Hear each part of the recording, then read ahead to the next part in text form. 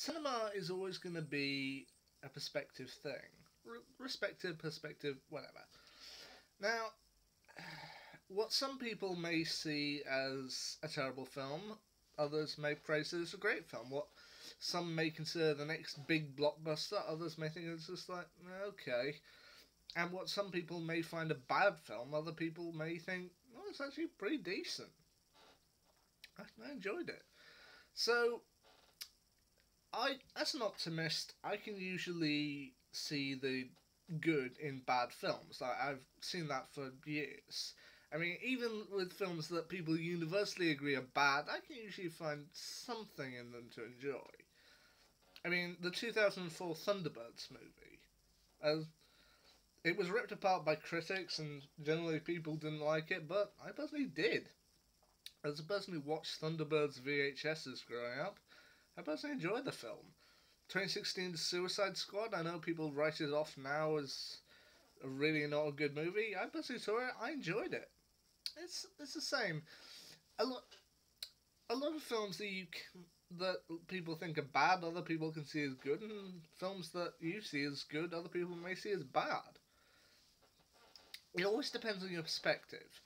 But I may finally be willing to change my perspective on one film that I had previously done a video on saying that I thought it was a bad film and one of the worst films I'd ever seen.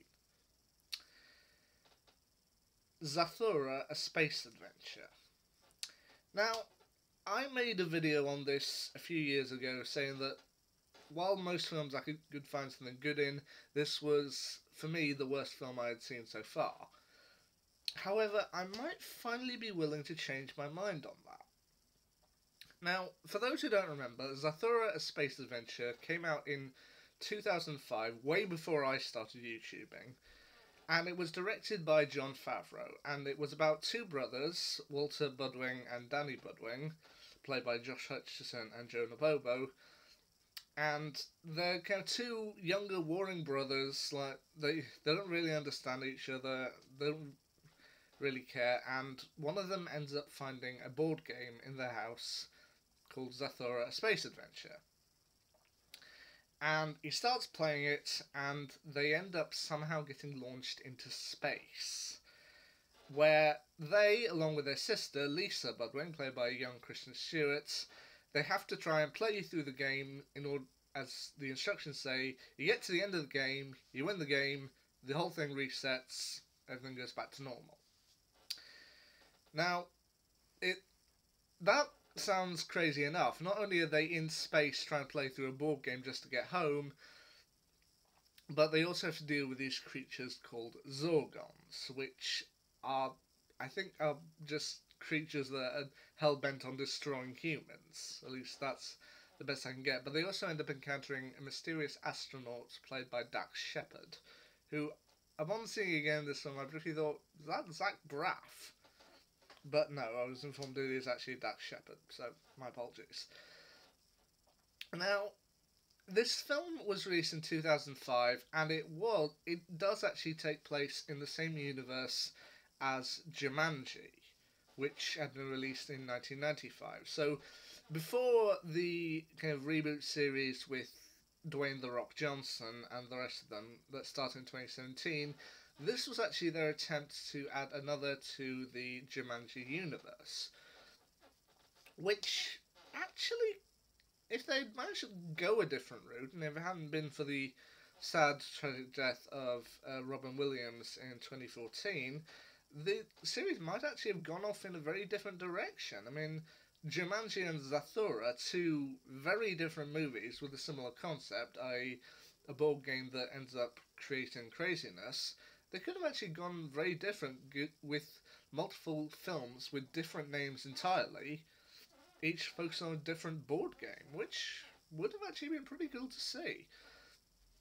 Now, as I said, I made a video a few years ago stating that while most films I could find a good thing in, Zathura, while I enjoyed it when it first came out, I was really young, as I got older, I felt I really can't enjoy this film. And while there are other films that people consider bad, that if I find them while channel hopping, I'll usually stick around for them, Zathura wasn't one of them, as I just felt it was boring.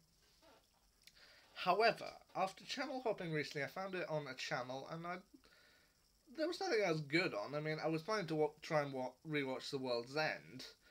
When I saw it was on, I thought, huh, maybe it's not as bad as I thought. So I began to watch it through, and honestly, I, I guess my my point of view changed from when I was a child through when I was a teenager to now. I can actually see it is a fairly good film. I mean, I don't know if I consider it one of my favourites or even the strongest of the entire Jumanji franchise, but you know what? I'm prepared to change my mind on it. This was a film that I liked when it first came out. I didn't really like it when I was after a few years, but then years later, I can't change my mind on it. I mean, having Jumanji in space, that, that's still pretty cool, and they do manage to do some pretty cool stuff with it, including a robot who ends up showing up partway through, and what they eventually do with the astronaut, which I won't spoil it here, but it is actually fairly clever, and it is a nice way to link back to Robin Williams' character, sort of, in Jumanji. So, Zathura A Space Adventure. I said I previously didn't like it in a previous video, but you know what? Your point of view can change over time, and I think nowadays I'd change my view on Zathura from thumbs down to a thumbs up. As I said, it's not one.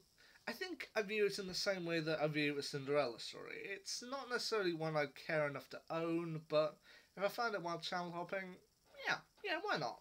Why not? It's a decent film, and I if you haven't seen Zathura Space Adventure, definitely check it out at least once. It's a decent film. Anyway, till next time, see ya.